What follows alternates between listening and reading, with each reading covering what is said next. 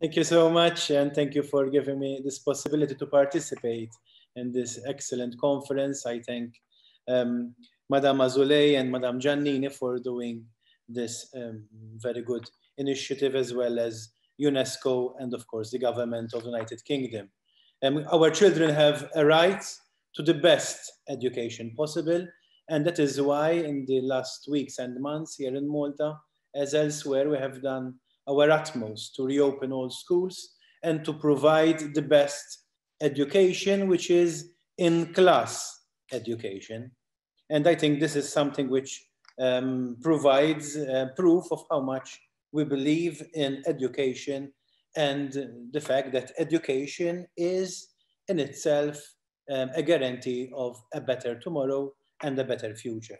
We believe that emphasis must be made on open-ended educational pathways, which, which move away from a one-size-fits-all system to a more inclusive and equitable program. And therefore, this would enable learning to be reimagined. reimagined. Reimagining teaching and learning must take into account the following points. First, the use of evidence-based approaches. Secondly, embedding climate and environmental themes. Thirdly, vocational training.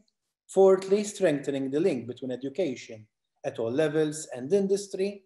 Fifth, making use of community resources. Sixth, we need to prepare future generations to become responsible agents of a more just, sustainable, and peaceful world.